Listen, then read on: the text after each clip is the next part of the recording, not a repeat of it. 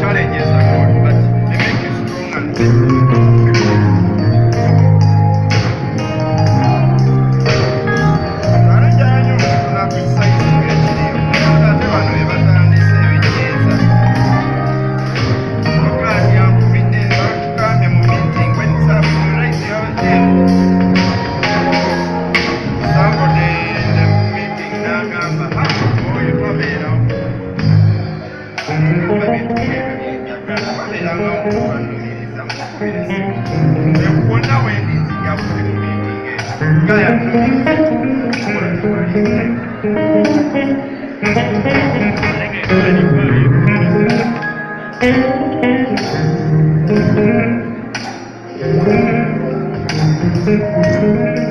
Sabe nada, vamos a negativo.